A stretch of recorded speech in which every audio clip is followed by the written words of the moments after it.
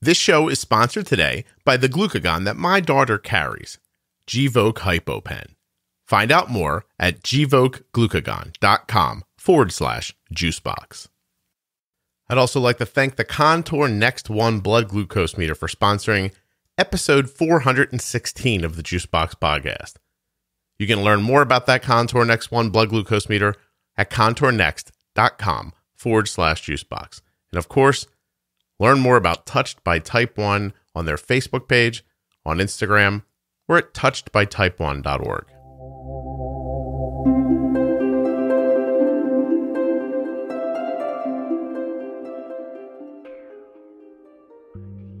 Hello, friends, and welcome to the show. On today's episode, I'm going to be speaking with Lachlan. Lachlan's from Australia, and he has type 1 diabetes. He also has a bunch of kids and a wife, and he's a teacher. Lachlan got type 1 diabetes a long time ago, so he was using like that cloudy insulin and just eating on schedules and stuff like that.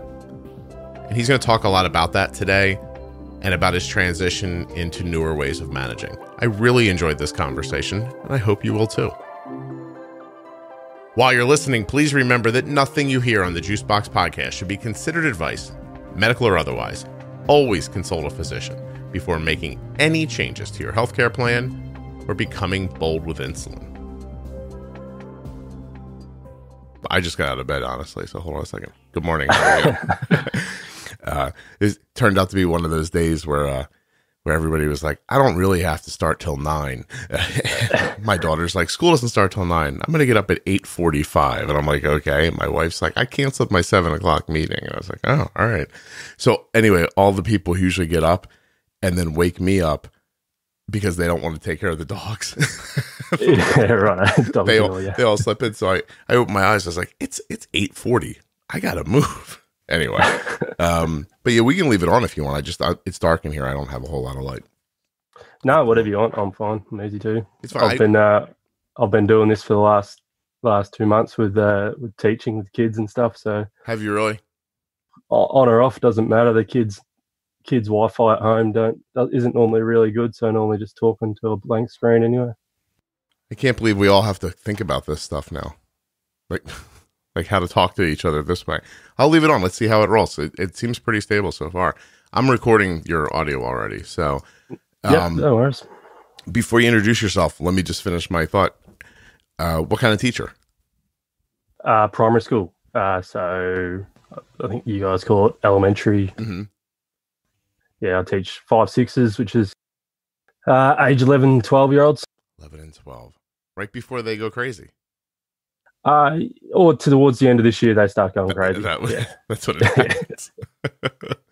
it's interesting, isn't it? You really do have them right at a spot where they they're just leaving one error, transitioning, and, yeah, transitioning yep. into another one. Yeah, you're transitioning into a lunatic is what happens if I remember myself being that age. Yeah, something like that. What do you teach them anything? Do you have them all in one class all day, or do you have just one subject? How do you guys handle it? Yeah, so we're we're generalist teachers, so they'll they'll have a couple of hours out, give us time to do some planning, couple of hours out to do say music or art. But yeah, we'll teach them English and maths and everything. My name's uh, Lockie O'Toole, a father of two. Yeah, I'm a teacher, as I said and I'm a type 1 diabetic. How old were you when you were diagnosed? I was 10 years old uh, back in 1997. 97. 2007, 17. Just got you. Now you're, hold on, it's 2017, you're 30. And then uh, 2018, you're 31, 19, 32, 20. You're 33 years old. Yeah, at the end of the year. Yep. You're probably, yep. you're probably like, oh my God, those kids I teach are are way better at that than he is. But uh, I did some multiplication and a little bit of counting, and then I did addition. Really, it was a lot of my a lot of my grammar school tools were thrown right together there. Well, I knew I knew you'd do something like that, so I had to I had to work out how old I was. I just need to know how old you are, and I find it incredibly boring to ask how old you are for some reason. Uh, uh so okay, so you're 33 now. You were diagnosed when you were 10. When you were 10, yep. it was 97. 97 exactly wasn't exactly the golden era of type 1 diabetes. And you live in Australia, which appears to be a place where American technology doesn't make it very quickly, near as I can tell. yeah, it, it takes takes a while. Um, I think um, I started off. I don't. I think you guys call it regular or something. I don't. I, I remember it was a purple vial and yeah, a couple injections a day with the cloudy and a clear Mm-hmm. mixture. Um, and yeah, I, I was on that for I reckon three or four years before I got any of that the rapid acting stuff. So In the 2000s. Um, okay. in the early two thousands, yeah. What I mean, is you listen to the show, so is being diagnosed in Australia much different than being diagnosed anywhere else? Or I mean, I don't, I don't think so. I think like listening, listening obviously to you, to you over the last 12, 18 months, it, probably the whole podcast resonated with me with the fact that there's so many stories that I'm just like sitting back listening or, or going for a walk and going, yeah, that, that's exactly what happened to me. Or Mhm. that's, you know, that seems what was happening to my mum or, or, or that. And I'm just kind of like, you know, it doesn't matter where you are. I don't think it kind of, it does yeah, it, I agree. Do you find it comforting or or not? yeah, yeah. Um, initially, when I started listening, I didn't don't know exactly what I was listening. Why I, started to listen to you, Scott, but um, when, when I you know started hearing some of these stories, where to start, you know, some of the some of the things that I've heard before, or or things have happened to me, I, I was just like I did start to feel a little bit of a connection with with total strangers, I suppose, and and that's you know I suppose what kept you know kept me hooked throughout you know last last year or so. That's excellent. I, I just think that there are some people who very much want to believe that, you know, we're all individuals in a way that nobody's the same. And I mean, everybody has their individual things, but for the most part, you know, I mean, we all live in a society, you know, there's doctors and the, the steps right, are going to be fairly similar. And I didn't know if that, because I don't have diabetes, I didn't know if that made it comfortable or if it if it was angering to to not feel like your situation was unique. And but it's nice to know that it feels you know like it draws you in and it makes you feel comforted. So that's excellent. Oh cool. Um mom dad mom just who'd you have going when you were diagnosed? Um, well, I had mum and dad at home, um, but mum mum helped with Mhm. uh, with everything. I, I think right right from the start, she was she went through with with me to the hospital and things like that. But um, yeah, pretty much at the hospital, I wouldn't I wouldn't let anybody jab me. I w- I wouldn't let a- nurse or a doctor or, or even my mum give me an injection. So ten years old, I was straight on like, no, I'm I'm doing this. I'm I'm taking control of this and and running with it. So, um, mum was there, you know, but it was pretty much me from the from the get go. but in those first number of years using the cloudy um you're just really getting up in the morning giving yourself some insulin and making sure you eat at certain times was that about the extent of it That's pretty much it. And I reckon that's pretty much my life until two years ago. Not I wasn't I wasn't using that insulin, but just just giving a few jabs and and not worrying about it, not not checking. You know, I might do one one test a day if I, if I was lucky. Um, you know, didn't even really know what a, a carb ratio was until a couple of years ago. I just look at a plate and go, right, oh, I'll do six or seven, eight units, just guess. And if I went low, I went low. If if not, I was just, you know, just winging it. And you know, I'm not sure exactly what the what the education was with was with mum or anything like that, but you know, it was, it was just it was just guess and check and jab and see. well i grew up with a friend who had diabetes so i think you know in those first couple of years for you that sounds it, that mirrors his experience exactly i i can remember him thinking that little things like we're going to be more active today so he'd give himself like a little less or Yeah. you know we were going to sit we were going to go to a movie so it'd be a little more but that Yeah. was the extent of his consideration about it and his meter was like you know eh, i don't know it, it was like half the size of a shoebox and it never left Yeah. his house so and Yeah. he never used it and he never went to the doctor like there was not like a i want to make sure i'm being clear he wasn't he wasn't not going to the doctor it was just like the idea of having an endocrinologist just for your diabetes sort of didn't exist for him his Yeah, his yeah. general practitioner took care of it, and I don't know what took care of it means. It must have meant making sure he had supplies and insulin, and, and that was pretty much it. Um, but you, unlike my friend, you transitioned into uh, fast acting insulin in a couple of years. So you're saying that when you m- moved to what do you guys call it, Novo Rapid? There, Yeah. Okay. Yeah. Novo Rapid. Yep. when you moved to that, you're only like it's so funny, right? I can't believe how things work out sometimes. You're about 13 years old. We were Yeah. just talking about that when it started, you know. Uh not the not the not exactly the greatest time for boys for, Yeah. for certain. and so did you treat the Novo Rapid like it wasn't much different than the Cloudy, just that it got injected at meals instead of at set times?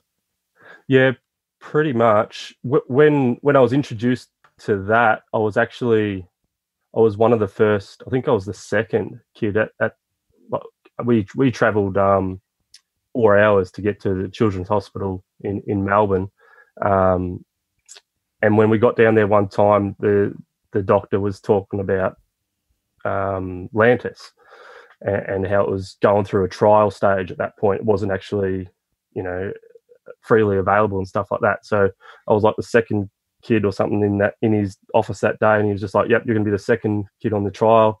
Um, I'll introduce Lantus, and while you're there, you, you're going to be using this Novo Rapid stuff as well. So, um, you know, learn learning how to how to get that Lantus dose right, and then yeah, the the Novo Rapid was just it was more of the same. You know, just look at a plate and kind of go, yeah, I'll, I'll About this much. Yeah.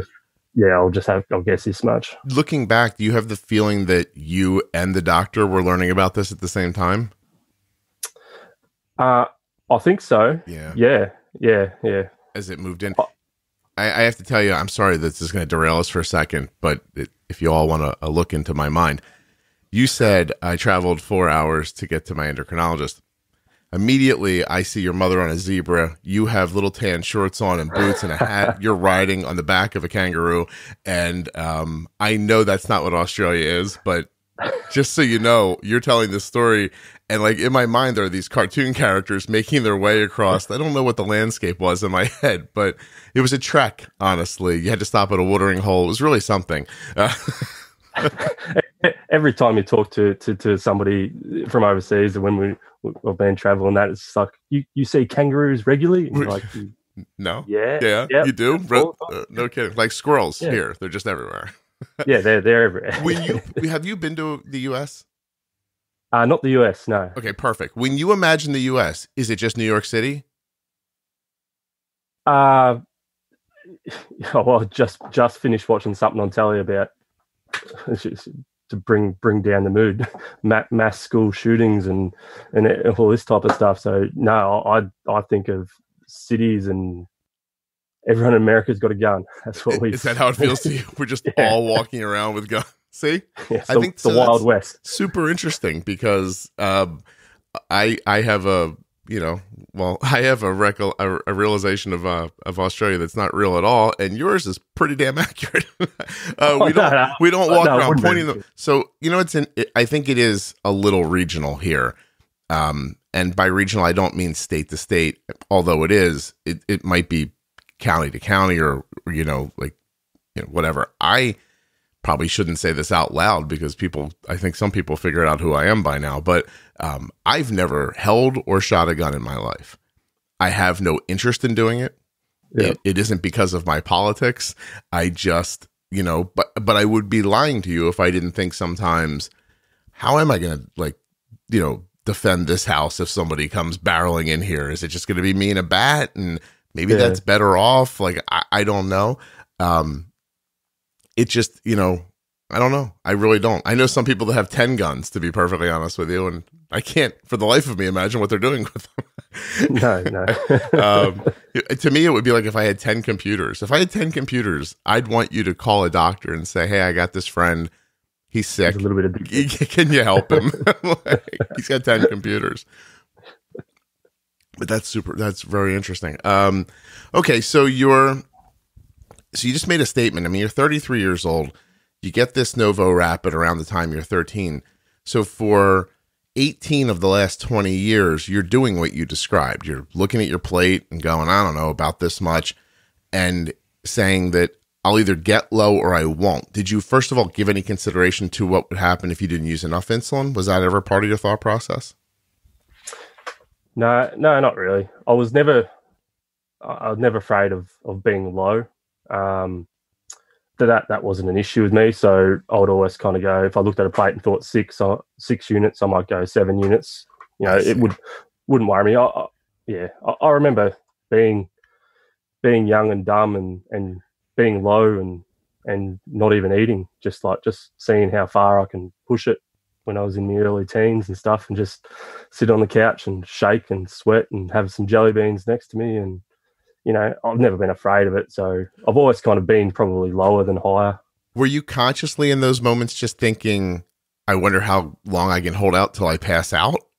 Was it a game or were you incapable of getting to food or what's that like? No, no. Yeah, probably.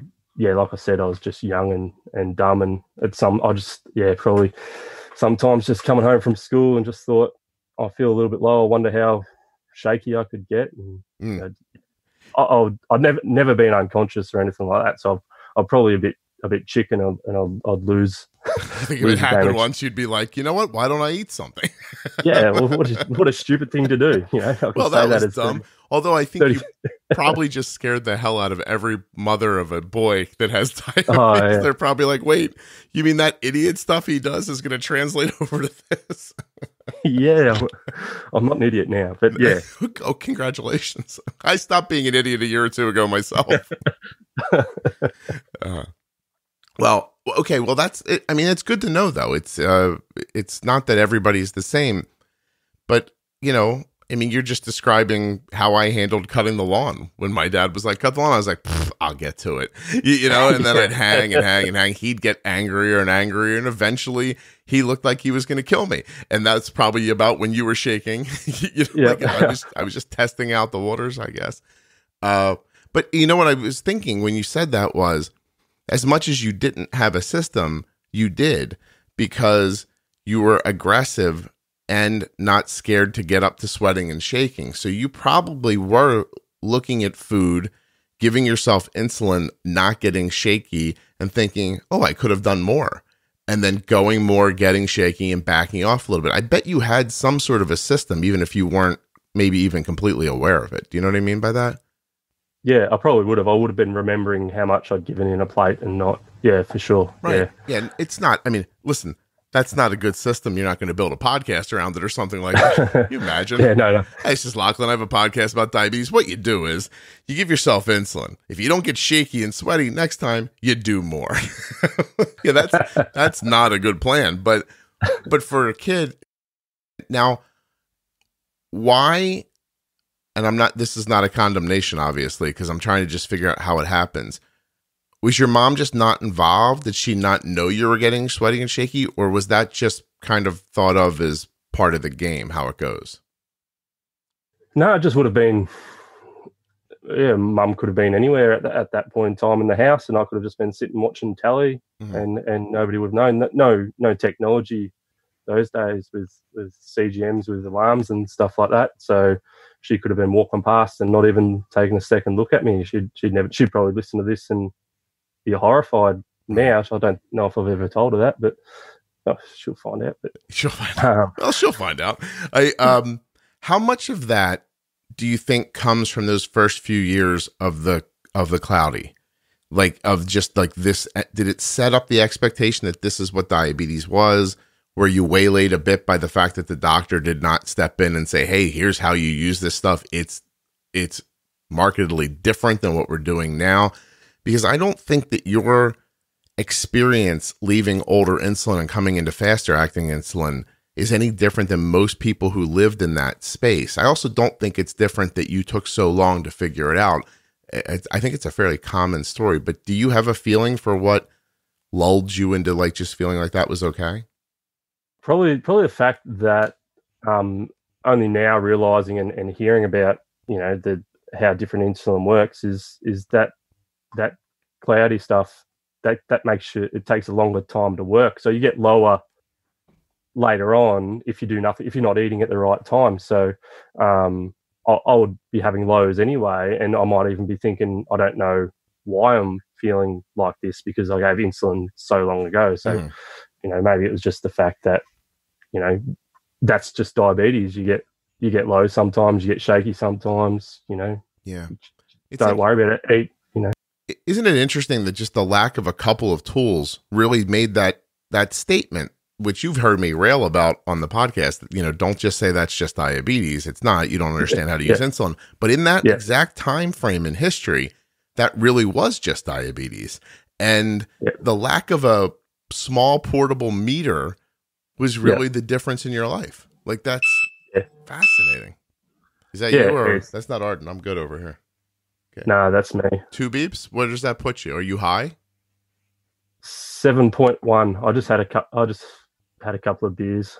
I was just like, uh, I'm gonna wait up a couple of extra hours. I'll sit and watch some telly and have a beer. What, um, what time? What time is it there, by the way? uh, eleven twenty p.m. Okay. I'm sorry for that, but thank you very much. Uh, No, you're right. uh, I'm I, I'm gonna do the. I gotta find my conversion chart. oh, Um, sorry, I got it. No, Uh, that's 128. 128. Oh, so you, where's your high alarm set? It's set at 7.0, so 126. Oh, is that because of the podcast? Because if it is, I'm very proud of you.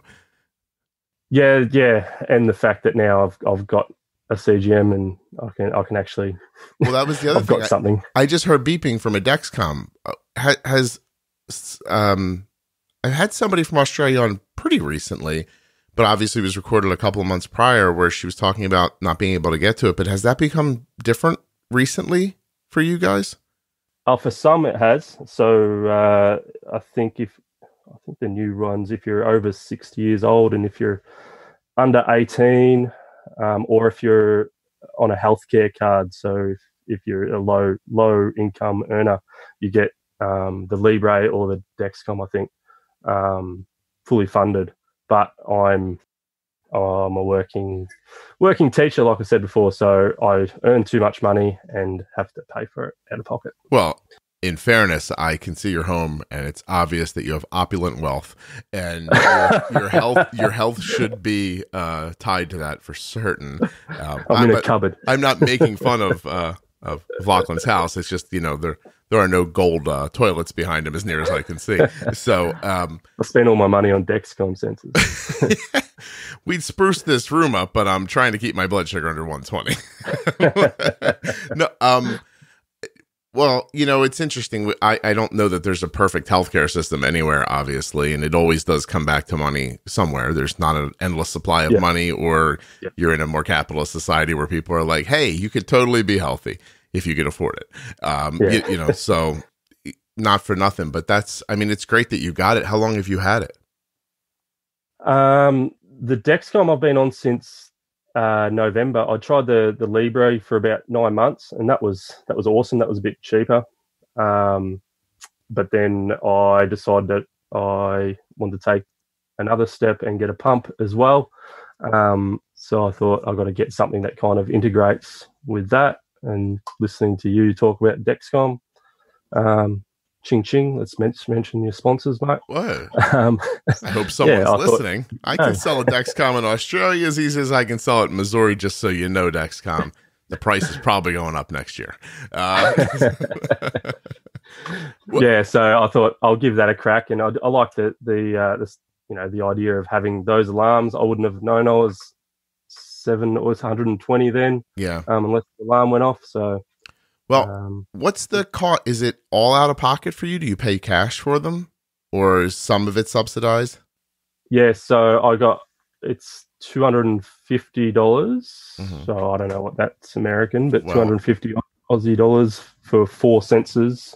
Okay. and two hundred and fifty dollars for a transmitter. But I've um, got onto people on social media that that can res- reset, uh, uh, re-battery the transmitters. So I'm, I'll, pay fifty bucks for a re-batteried transmitter instead. Well, I have to say, only because of the sponsorship, I'm very much against that. And uh, Yeah. I, I think that's wrong, and you shouldn't do that. That's just what I want Yeah. to say real quick about that. Uh, and, and, and and I also restart the sensors, so that's horrible too. But that's what I've got to do. I no no no. I um listen. I think you got to do what you got to do. I was just looking too that uh about the money exchange. Looks like one of your dollars is like 70, so 70% of ours is one of yours. Yeah. I am now very embarrassed to tell you that I went through 12 years of school and I realized there's probably some very simple mathematical equation that would tell me what that amount is. Uh, and I don't know what it is exactly. 100 $180. So I would take, I would find out what 30%, what I would do here is take your cost. Let's make it round numbers. Just uh, say I said $300 and I would find out what 30% of that is. And then that's what it would cost here. And so I would multiply 0.3, get 90 and subtract it. Or is that completely wrong? That's wrong. That's a third. Damn it. Hold on. Let's do it again. Three. And subtract that from Oh. 300. Shh, don't Don't talk. don't just wait. All right, I'm embarrassing myself. I have to stop. My I never once in mathematics through my entire learning system did I come up with the correct answer in the right way. And back oh. then, as a dumb kid, I thought, what does it matter? I'm being tested. I have the answer. And now I realize it's a lot about how you apply it when you need it. It would be like if I stopped a car by throwing a rock out the window attached to a rope and then ah. got into a real situation where I had to stop very quickly and thought, boy, I bet you it would have been better if I knew how to use the braking system on this car. I, so when I need math, I'm um, I'm lost. Uh, you probably none of you should probably be listening to this podcast, just so you know. Uh, but but okay, so you're so you're doing that. I think it's great. It's tough because I imagine teachers aren't you know um, any more better paid in Australia than they are in in America. It's not like you're you know um, just probably walking out of the building every week waving to the children goodbye kids. I'll see you later. Money Yeah. money falling out of your pockets. Like i don't know what i'm going to do with all this money i got today for teaching you. Uh, so it sucks but i i love that you're doing it. Um i have to tell you this hasn't come up on an episode yet um but i'm wearing a dexcom right now. I'm getting to wear one Yeah. for 10 days right? And it's fascinating in a way that I can't believe I'm saying it as if I've never seen it before. Um, Yeah. And obviously, I've been looking at my daughter's data and other people's data forever and ever, but to watch it work in a person whose pancreas is doing what you expect, it's it's really eye opening, and uh, I think I'm going to learn a lot so that I can talk to other people, which is was my goal when I asked for it. Um, Yep. and um, it, but it, it was hard at first and and the reason i bring it up is because as i as i was about to put it on the first time i thought am i about to find out something about my health i don't know like do you know what i mean like am i about to Yeah. slap i'm 48 years old am i about to slap this on and find out i have pre-diabetes Pre-diabetes. um, am I about to slap this on and find out that my favorite meal is something I probably should never eat again? You, you know, you know, like these. The, It was it was very it was very interesting, and um, and I'll tell you, there's two things that have really kind of like been super interesting about it. One is, and this is not a uh, what we would call a humble brag. This is just what's happening. Arden's blood sugar and mine are following very similar patterns and heights when we eat the same meals together, which was incredibly comforting. Do you know what I mean? Like when I see her blood sugar go to, I don't know, you know, 120 after a meal and it comes back down again. To see mine do the same thing took away a lot of anxiety for me because I think that when we use insulin, at least if you're listening to this podcast, uh, you're trying to stay ahead of a potential mess up, right? And the idea of 120 diagonal up, you still don't know. As much data as that is, you still don't know. Is that about to be 170 diagonal up, or is it going to level and come back again? And then I think that fear makes me concerned that any rise is bad. And then I realize Yep. there are some meals that we're handling better with insulin than my than a body could handle. Uh, again, I'm not I'm not like uh, Arnold Schwarzenegger at 48 over here, but you know, at, the- at the same time, I'm I'm not dripping out of my chair, y- you know, so I'm I'm Yeah. I'm doing okay. That that part's been really kind of uh, comforting. And the other thing is, I find myself very. This is going to make you laugh, I hope, because it, uh, either that or again, you might want to call somebody and say Scott needs help. Uh, I find myself irritated at how slow my body takes care of my blood sugar. I look and I think, I wish I could give myself insulin here. Or yeah, I would love to have pre-bolus this. yeah. um, it's been just tell you just tell your pancreas that I'm about to eat, mate. Just well, like, so start working. You'll apparently you'll probably hear this on the podcast before you hear yourself on it, but uh, eventually I'm going to talk to Jenny about the entire experience. And I was telling her that I was texting her. I was like, I want a pre bolus. I was like, I know that sounds stupid, and she goes, Your body sort of does. And I said, How? And she said, and I will have to dig into it more, but she said, When you smell food, your body starts to give you insulin. And I was like, Get out of here. Did you make that up? I'm texting her back. I'm like, You made that up? like, you just messing with me, you know?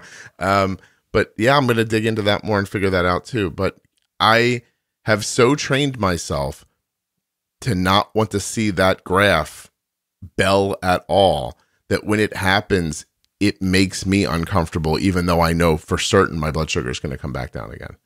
Um, yeah, it's it's interesting when when I got the when I got finally got the Dexcom, I still had one of the Libres left over, and I very persuasively talked my wife into wearing it for the the two weeks as well because I wanted the same type of data. And the thing I got from it was how low she went when she was fasting. Is, is she was comfortably sitting sitting around you know 3.8 to 4.0 sorry i got it. around six, 68 to okay, 70, 70 all night without any issues and and that type of kind of thing that's normal. So you know i would you know be a little bit more comf- comfortable sitting at you know in the 70s overnight rather than thinking oh i'm sitting at that i better have a little snack before i go to bed because you know it's normal nothing bad's going to happen yeah. you know? there's an old episode called uh Terry lives on a boat.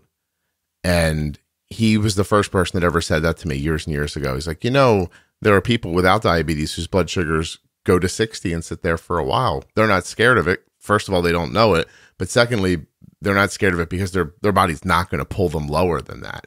And yeah. it's not like they have, you know, man-made insulin in them running wild because they use too much of it. And I thought, okay, that's comforting you, you know like I, I took a lot from that i actually just recently re uh, recorded a second episode with um with him and it's going to go up in a little bit i just very much enjoyed him i reached out into the to the listeners i was like i was like real quick whoever says it wins first like name an episode you really loved and somebody came back right away might have been a woman named jamie and she said Terry lives on a boat. I love that episode. I got so much from that one. I was like, done. I'm going to record with Terry again. So I got him back, and it was really, it was really, really interesting. He's a guy who pays attention. So, okay, so you you go about your life for these 18 years living the way you described. What happens that makes you pay closer attention? Gvoke HypoPen has no visible needle and is the first pre-mixed auto-injector of glucagon for very low blood sugar in adults and kids with diabetes, ages 2 and above. Not only is Gvoke HypoPen simple to administer, but it's simple to learn more about. All you have to do is go to gvokeglucagon.com forward slash juicebox. Gvoke shouldn't be used in patients with insulinoma or pheochromocytoma. Visit gvokeglucagon.com slash risk.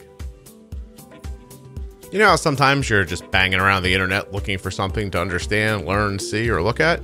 Check out touchedbytype1.org while you're doing that. And if you're not such an internety person, in so much as you don't like the WWWs, you could also look on Instagram and Facebook. Touched by Type 1 is my favorite diabetes organization, and I really hope you check into them. While you're out there, don't you deserve a state of the art, accurate blood glucose meter? I can answer for you. You do. You do deserve that. And it's not as far away as you think. You might be thinking, oh, I have a blood glucose meter. It's right here. It works fine. Does it? Is it one of the more accurate ones available? How do you know? Well, luckily for you, well, I know that the Contour Next One blood glucose meter ranks at the very top, ranks up there with the very best of blood glucose meters. It's super accurate, easy to use, has a bright light for nighttime checking, and a second chance test strip. So you don't have to waste the strip if you touch the blood but don't get it off. And you still get an accurate reading when you go back in for that, that next little bit of blood. ContourNext.com forward slash juicebox. Learn about their meter, learn about their test strip program, and you may even be eligible for a free Contour Next One meter. Not only that, I know you're like, Scott, that's a lot already, but there's a little more. Many people may find that paying cash for the Contour Next One and the test strips is cheaper than getting your current meter through insurance. Worth looking into. ContourNext.com forward slash juicebox, touchedbytype1.org, gvokeglucagon.com forward slash juicebox. There are links in the show notes. There are links at juiceboxpodcast.com. And of course, you can always type them right into your web browser. Let's get back to Lachlan, who's about to answer a question. What happens that makes you pay closer attention? Probably the birth of my second son. I just I just started thinking a little bit more about the diabetes and the fact that, you know, know I suppose runs in the family to to some extent. I, I was a bit, you know, I, I don't know, paternal instincts or. I don't know what it is, but started worrying about my my boys getting it before they actually get it. So I was like, well, if if it does happen that you know one of my sons do get it one day, I kind of wanted to know. I wanted to know something because it turns out I, I knew kind of nothing. I was just making it up as I was going. So mm-hmm. uh, from from there, I, I, I just I started educating myself. I just started reading books and and I asked to uh, asked the doctor that I was seeing, you know, about CGMs, and he knew nothing. He was just like, here's the name of an educator. Go to go to this lady, and because I'd never been to a diabetic educator either, um, and she was just like, yeah, these this is a this is what they are. This is how you get them. You know, you're going to have to pay out of pocket for them. Um, and then yeah, from then when I strapped one of those on, and you know, like I said, I was I was I was reading books, and and that that educator kind of said to you know get online and and start talking to people, form a bit of community because I never knew it I never knew a diabetic I, I, from when I was growing up. Right. None of the kangaroos have diabetes. Uh, yeah, they might have, but they don't they don't say much. So, well, that's going to be a problem. There no, you can't form a community with a bunch of kangaroos that won't talk to you. That's for certain. Uh, well, well, so a, a couple of things you said there are interesting. The the one that really sticks out to me is that even when you went to a doctor and like, I have to do better at this, they said here we'll take this technology and then go online and find somebody who can help you like w- did, was there any part of you that was looking at him like you're the person you're supposed to be helping me well, well, first I went to my doctor and, and, asked him about it, and he was he gave me to somebody else who you know who was supposed to know, and she she did know things about it. It was just the fact that you know to to get more information that you want, you know, from I only had my short yeah short appointment time. You know, get online and, and start talking to people. Um, and, and find things out. So those poor doctors must have PTSD by the end of the day in the week. Just you know, twenty people asked me for help today, and I said, uh, I don't know. You know, we only have ten minutes together. Have you tried online? Goodbye. Like you know, they must feel terrible sometimes when it's over. Um, when you put on, you said you went with the Libre first. When you put that on, what'd you learn? Uh, spikes, spikes. I, is the just how high I went um, after eating, and then not not panicking, but just kind of going. Oh, I didn't realize that maybe I I didn't give him enough insulin, and then I'd give more insulin, mm-hmm. and then the insulin that I gave to start with would catch up, and then I'd get really low later. So it was the fact that I was I was mistiming. It was it was, it was the old adage of uh, yeah. pre bolus times and um, which I didn't know anything about it at that at that period. So I was having lots of spikes, going up to 14, 15, 14 or 15, uh, 260, 270. Yeah, and okay. then coming back down and and and that type of stuff. So how low were you getting? Uh I, I could get well into the twos, into the forties. Yeah, regularly. Oh, so yep. even some of your A1C. Do you remember what your A1C was in that time? Oh yeah, I I every time I went to the doctor, and I still went every three months, six months ever since I was diagnosed. I never never didn't go. It was Mhm. always in mid sevens. If it would, if So you were- low eights, Ah, so you're in the mid sevens, yeah, and your but your blood sugars are regularly 40 and regular 200, regularly 280. So your deviation's so far off that the A1C yeah. is sort of meaningless. yeah. So the doctors always said you you're doing okay, you're doing fine. Here's your scripts, off you go. So, and I, I just took them as as right. I'm doing fine. I don't know anything what I'm doing, but what I'm doing is fine. So, Well, you may or may not enjoy the episode I put up last night. So I had a a, a doctor who works for Dexcom. His name is John Welsh, and I. So the way it started was, is I I reached out to. There's a person I use to schedule my stuff with Dexcom, right? So I reached to that person and I said, um, I would love to get someone on who can really pick apart standard deviation as it you know relates to diabetes and how these these graphs are built and how we talk about because you know A1C was you know the only measurement for a long time but now you know standard deviation people are telling you is is maybe more important. And he came on and told me uh, beyond that that and here comes my lack of school again co coefficients of hold on a second Look at me. You're like, no, the kids I teach are not that old, Scott. I don't know either. One second. Uh, my gosh. Anyway, John comes on, and while I'm looking, and he is much smarter than me. and I could tell immediately when he started speaking. I was like, uh oh. So I, I picked a spot on my desk for an hour and a, and a half and stared at it and listened to him like this when he was talking, like trying to keep up. It was it was it was like being sent into. It felt like I was being sent into an algebra class for the first time, and I only had an hour to learn it. and and Yeah. I you know because I had to ask him follow up questions that were reasonable. and so um so while we're talking, he's like Scott. I think standard deviation, coefficient of variation time and range A1C, these things together are the story, you know, not just the A1C, which, you know, you hear people say a lot over the last couple of years, or I hear them say it a lot, but it never followed with context. So I wanted more context for it. Uh, even I would tell people, I'd, I'd say kind of just like, you know, like James Bond asking for a drink. I'd be like, well, you know, A1C is not everything. Your standard uh, deviation is very important. And then, you know, just sort of Good trail off because I don't know what the hell else to say after that. you know, like I didn't know what else. And I wanted to know, well, I know now. and, and if you, and if you listen, you'll know too, but you're going to need to listen through some, you know, which I'm assuming to math people was probably like coloring, you know what I mean? While I'm just Pretty like, simple. that guy's telling me calculus. it was, but but but he did his best, and I and I you know to make it you know digestible.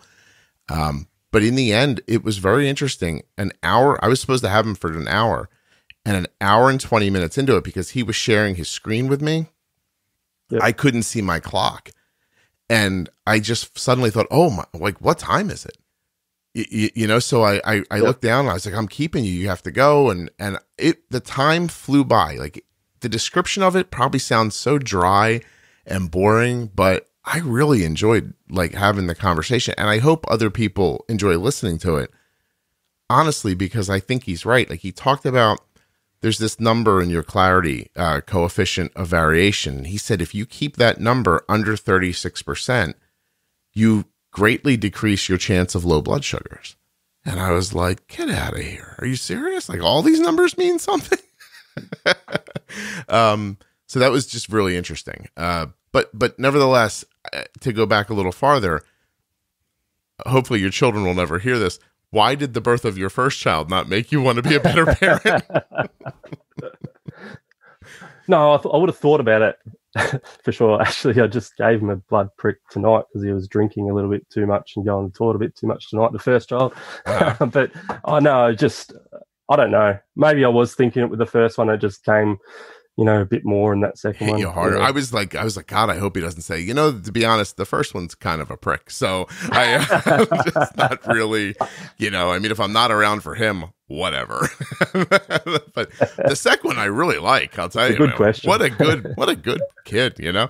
Um, but I, I understand. How old were you when you had your first?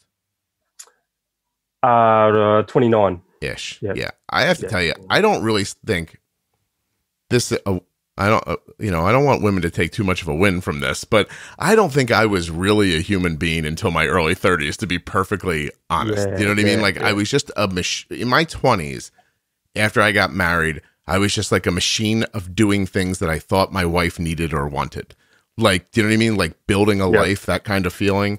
Um, I don't think I got to the point where I was like, I wonder, you know, who I am. You know, like that didn't hit me until 31, 32, 33. I was like, I wonder if I could maybe pay attention a little more.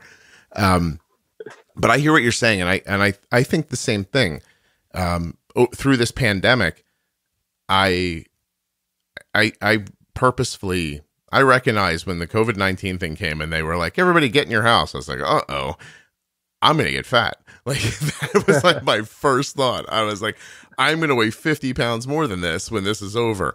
And Yep. I thought I can't let that happen.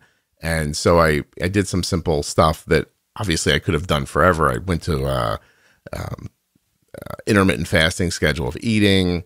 You know, cut Yeah. out a couple of items, not much. Took some oils, like processed oil, out of my life, like simple stuff that obviously I should have been doing forever and wasn't brain surgery. And I lost, I've lost 11 pounds so far during this Oh, whole thing but it wasn't thank you it wasn't for me i never once thought i wish i looked better. Um i don't know uh, how this will sound but i don't think of myself as how i look. Like i think of myself as like what's going on in my head if that makes any sense. My thoughts are me in my opinion. Um but i really did start thinking about you know my kids are going to have to go on for a while and I, I don't know i had something going on. I talked to my mom. My mom's 76 and I thought this was valuable. Like I learned something talking to my mom today. Like I want to be available for my kids Yeah. to talk to me. You know, um, hopefully, hopefully they're just not. Ah, that guy's a prick. Never mind. I don't mean. I don't- you know the way you think of your children, uh, but Just one. well, in fairness, the other one's terrific. Uh, but you know, so I, I was kind of doing the same thing, and I really hope I can keep doing it. I think I found something that's very workable for me. So I don't, I don't see how I'll have trouble uh, sticking to it. But I understand what you mean. So, so once you decided you wanted to be there for your second child, um, and and you got this advice from the doctor to go into the community, you said you found some books. What books did you find? Uh, I read uh, uh, Think Like a Pancreas, which is Gary Scheiner. I think you've interviewed him before. I've never had Gary on, but Jenny works for Gary. Oh, that's right. Yeah, that's where I've heard. Yeah, yeah. Um, that bright bright spots and landmines book. Who you have interviewed, Adam. Did they help those books? Yeah, they, they did. They did. Um, uh, I don't do a lot of reading uh, for my own sake, for my for myself, Mhm. um, for for work I do. But um, I did I did learn a lot there. Like like I said at the beginning, I didn't even know what a carb ratio was. Like I, I, I was I was basically I kind of thought of myself as just being diagnosed all over again. I was getting all this information, and I, because I was interested in wanting to learn about it, it was it was sticking in my head. Right. Um, and then, you know, fr- from there, it was, you know, trying to listen to people online and everybody else's opinions and things with stuff. And um, it just kind of got too much. People just conflicting things that they'd say. Oh, that was the other book. Um, the Bernst- Bernstein's Diets one, whatever that one Oh, is. you thought about maybe doing low carb at some point? well, it was just another book that I read, and and I, I, you know, I tried it for a little while, and it was great, but you know, I I enjoy uh, beer too often, or, or I don't know, I enjoy carbs too too often, so it was just like it just it worked, but it was just for dinner? not for me. Yeah, what's for dinner? It's a ribeye steak again. he bought a whole cow. He stuck it in a freezer. He's chipping a piece off every night. bacon, bacon, And- bacon, bacon. Please don't yell at me, low carb people. I know there are other foods that are low carb. I um, I, I understand, and I think by now people who really listen, like if you stumbled on this show on this episode and heard me say that, you'd be like, "There's another person saying I don't think low carb is not a good option." I think that whatever people like are comfortable with that works for them Yeah. is a good idea. Absolutely. I'm not a nutritionist. I couldn't tell you if one thing's better for you than the other. I mean, you heard me try to do percentage of 300 the other, and I still don't have the answer. Uh, so, um, but what I what I always really think and I hold dear is that you need to understand how insulin works so that whatever eating system you come up with, you can you can stay ahead of your meals. You know, like you just need to understand how insulin works and then do whatever you want after that. I honestly don't care. Um, but so you took all this information in and what what do you think the first like adjustment you ended up making was like what got you on like what is your A1C now? Uh, as of three weeks ago, it was five point nine. Wow. and I was on that was MDI. I was because I've only got the pump for about two weeks now. So, um, wow. yeah, my educator my educator said when I got the pump and told her that she said, "What are you getting on a pump for? You're not going to do better than that." So you I said to her, Oh yes, I I, said- will. I said, just wait and just wait and see. Lady, I got a podcast and I'm just gonna tell you right now. I'm gonna get you a five of, heard of Scott? I'm get you a five five. You just hold on to yourself a little bit longer. Uh yeah. I- I- that's that's very. I'm a, first of all five nine on MDI is is terrific. Um, and the books, I I can't you know I can't say a bad thing about any of the books that you found. Um, but let's be honest, it was the podcast that really fixed it for you, right? oh, absolutely. Yeah, you're you, you're the man. You're, you're the man. Yeah. No, it just got to the point where it was just like I might have a little bit of information, but I don't really know how to apply everything. And I suppose you know a lot of your analogies and things. uh, You, you your tug of war one gets me every time you, you mention it. It's, Oh, I'm glad. when I heard that the first time, it just just clicked, and it was just, you know, I've just got to give it a bit of time and a bit of bit of a head start, and Mm. you know, I won't have those spikes, and and I don't now, which is great. Do you know? Have I ever said how that where that tug of war like thing came from? Oh, you- I can't remember. No, I was so a lot of what I know, a lot of what I understand about the podcast was made more. I enriched it by talking to people privately. So I had these ideas, and I would write them on the blog, and then the podcast. You know, when the podcast started, even and I still do it now, but it's almost like an exercise for me at this point. But back then, I would do I would have a lot of conversations with people. What would happen is like through social media, someone would probably be in the same exact situation you found yourself in online, desperately trying to figure out what's going on, and someone else who had read a blog or or something would say, "Hey, you know, this guy Scott will help you if you message him." And so when people message, they start sending. I don't know if you've ever tried to message diabetes management back and forth, but it's just it's too much and too much gets lost in writing. And so I would tell these people, why don't you just call me because we can you know, we can bang this out in 45 minutes. I genuinely believe that if you're motivated in about 45 minutes, I could probably fix your A1C. you know, like it's not like it's not that because I've I've I kept honing it, like getting that conversation down shorter and shorter and shorter. There might be people listening now that were like, "Oh my god, my call with Scott went like, you know, an hour and 15 minutes." That was before I got really good at it. So, um it's so it ended up being practice for me like I know I wasn't practicing on people, like I wasn't saying stuff that I didn't know, but like the way I would say it would would re- get refined. And one day I was speaking with this um, very young mother of a child with diabetes, and the woman, gosh, she was so young. It's almost hard for me to call her a woman because I can I can I know you know who my daughter is at, at 16 years old. Um, she was young. She had dropped out of high school to raise her child. The kid gets diabetes and she finds her way to me and I explained to her how to pre-bolus in a way that I thought was crystal clear. And I was just like, I've done it. This girl understands. We're going to get off the phone now. There's this little pause and she says, "I'm sorry. I don't understand what you're saying." And I felt really defeated. I was like, I'm going to have to get off the phone with her and she's not going to have an answer. And then that made me feel terrible. So I Yeah. just literally said to her, Hold on a second. I'll think of another way to say it to you. And I just got quiet for a minute and I was like, Okay, okay, okay. Here it is.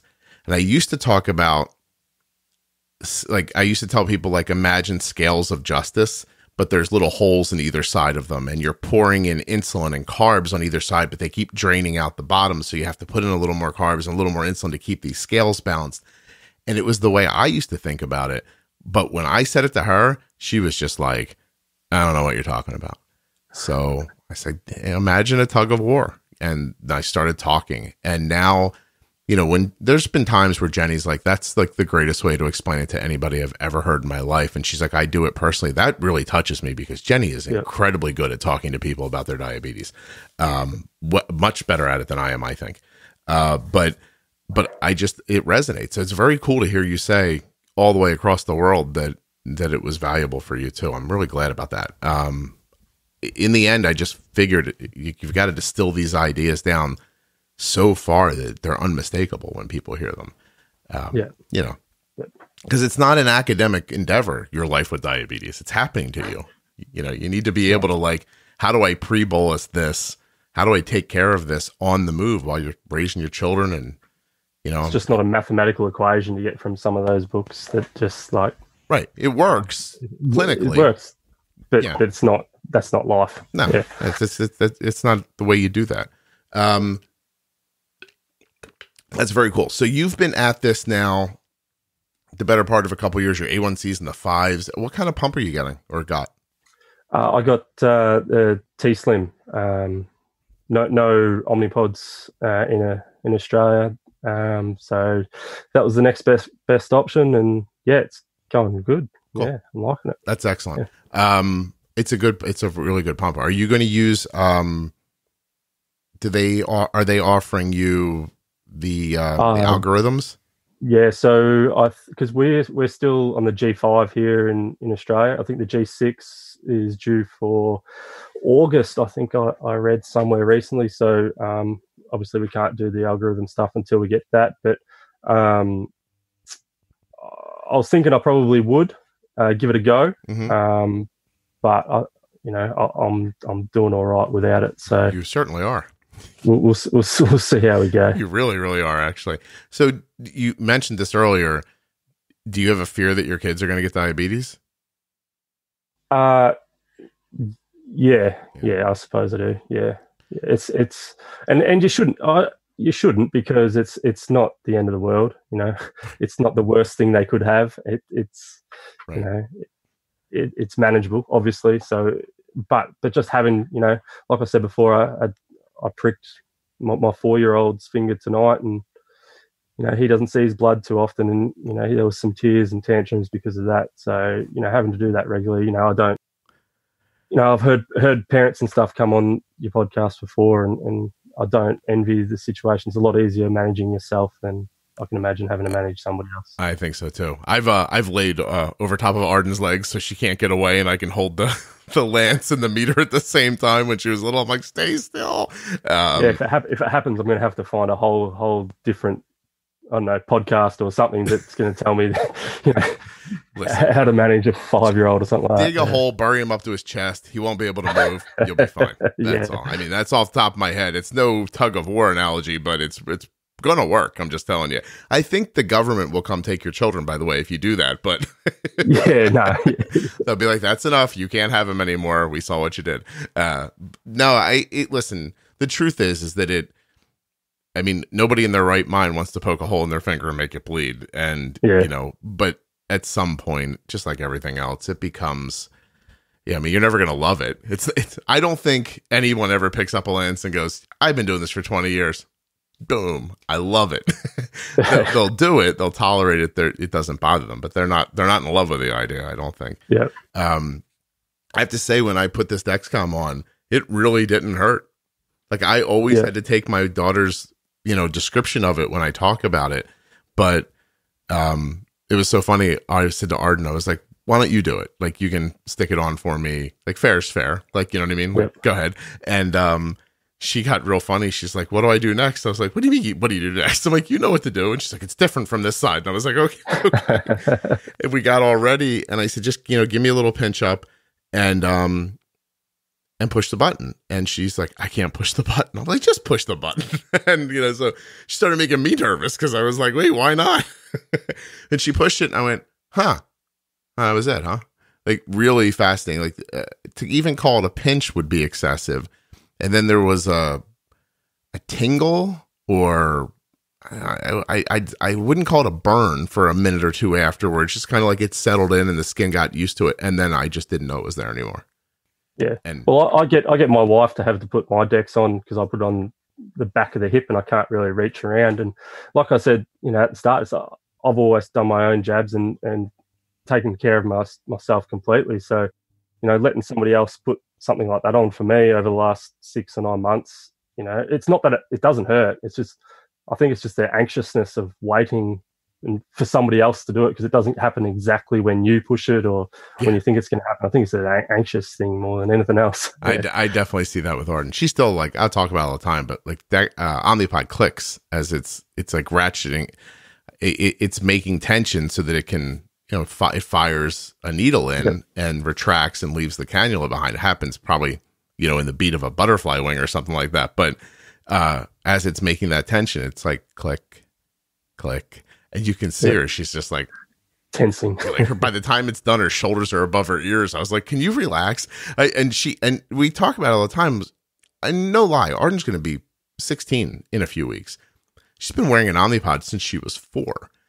Now that math I can do. Okay, so if it's every three days, that's 10 a month, 120 a year, 120 times. Uh, that's a lot of Omnipods, and yeah. she still is just like it's clicking and i'm like i know like it did three days ago does it hurt she's like no nah, not really i'm like ah. so um it's interesting you know it's just it's human nature it's hard to it's hard to avoid um well did we not talk about anything that you wanted to talk about because i'm not good at you know um linear thought pro- pro- probably just the fact that you know for the 20 odd years or whatever I did, I wasn't really taking great care of it. Just the fact that, and and you don't um, talk about it a lot, is the fact you, know, you talk about the long term, um, the long the long term issues with with high blood sugars and things like that. But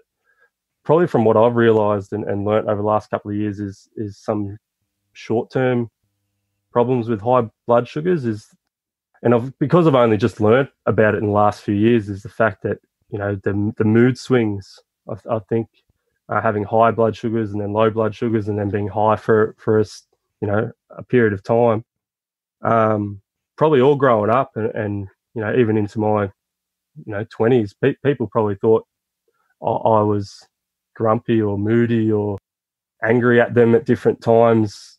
You know, even people in my family have said it at different times that you know, learning about it, you know, over the last couple of years that it, it could well, and and it is, you know, a lot to do with high blood sugars because you're just irritable and just don't want to be around people and things like that. And you know, just if people understand that high blood sugars aren't, aren't good in the short term, not then obviously not good for the long term, but you know, your personality can change mm. when, when when you get high. Um, nowadays, you know, I, I don't get above, I don't get above ten. I don't get above one eighty. It just doesn't happen very often. So um, I just feel a lot happier and and, and easygoing and relaxed, and I, I don't feel like the, you know, the the grumpy, moody type person that a lot of people that I've grown up with think of you as and think of you know, yeah. you know and they do they've said things oh you know Lockie's just grumpy don't you know, don't mess with him now or whatever like that. But you know, it's and you don't feel like that kind of a person. So I'm, no, I'm no, obviously not. How no, that, no. I, have to tell you that you've just hit on a number of things, but one thing that I, I really identify with is that um when I'm when I feel misunderstood, it I find it heartbreaking. Like like there's a person I am, and if I'm you know if I care about you and I'm interacting with you and I'm not coming off the way I intend, I'm like, yeah. oh, that's not how I feel. Like, I can't believe they don't see how I feel. And I, am more uh, in tune with that because of almost exactly what you just said. Although I don't have diabetes, it turns out I was living for a long time with an incredibly low ferritin level. So we're learning more now, but it's very possible that my body does not retain ferritin like other people's do. And as my blood, as as that value drops in my blood, it's very similar to what you're talking about. Like you can get irritated for no reason, things seem worse, you know, uh, you're you're more short tempered, tired, um, cloudy, that kind of stuff.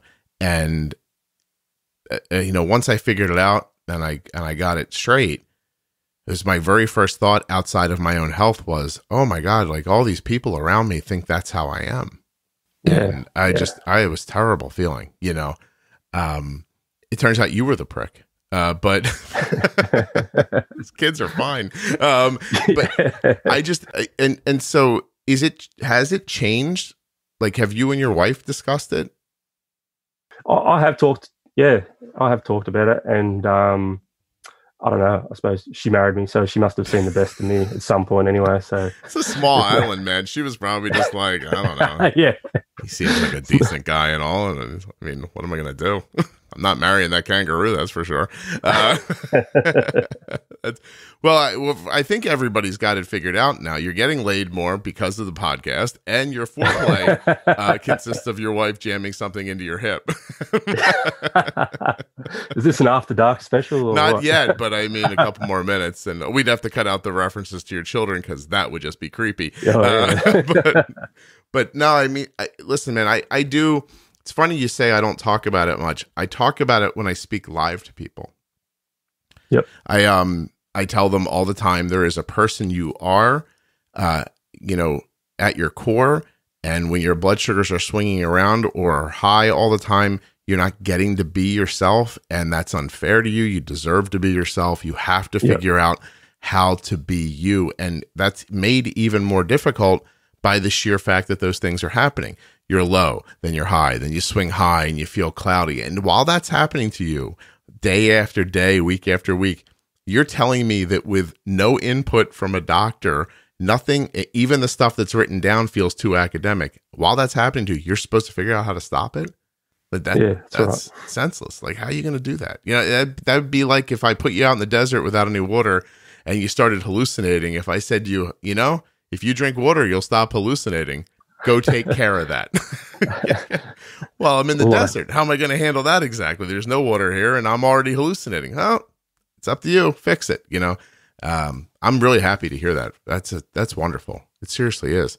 Um, but I'm keeping you up very late. And don't you have to get up tomorrow and I'm sorry, teach children through through No, no. First, first day back in the classroom tomorrow. The kids are back. We're we're out of lockdown.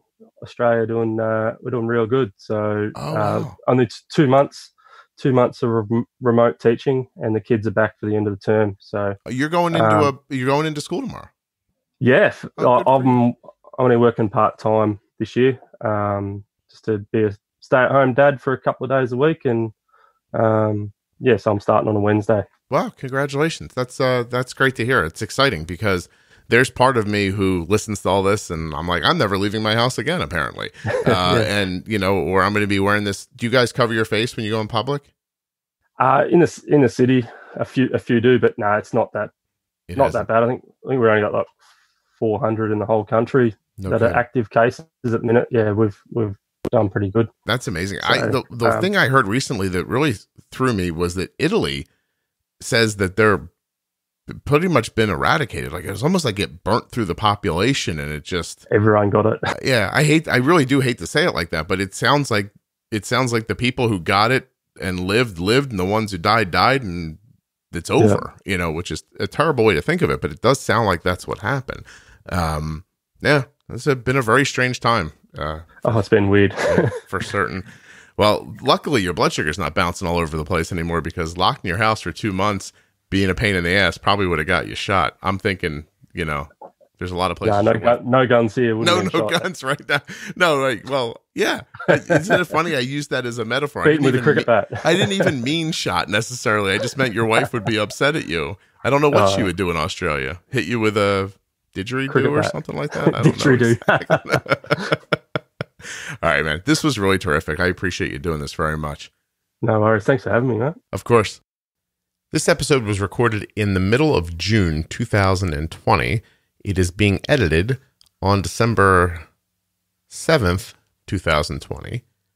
And because we brought up COVID, I wanted to give you some updated totals. Googling the words Australia current COVID cases, I learned that total cases in Australia 27,972, total recovered 25,446, deaths 908. And because Italy came up, I will do the same.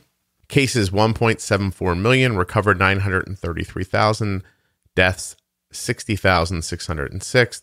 And Italy began to, they were pretty flat in June.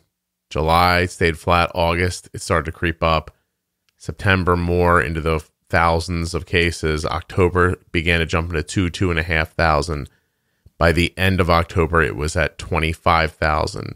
They're currently back down to more around 21,000, but they were up in the 20 to 30,000 range there, maybe till mid November. I'll look at the same for Australia. Australia is interesting. Very flat when I recorded. He wasn't off. There were about 20 cases when I recorded with him, but it began to jump at the beginning of July. They hit a peak in uh, end of July, August of about 600. And it danced around around three, 400, and then steadily came back down, back into the double digits in September, and remains there today. There are seven cases in Australia on December 7th. So I just thought that could use some clarity because what we thought we knew about COVID in June turned out maybe not to be right.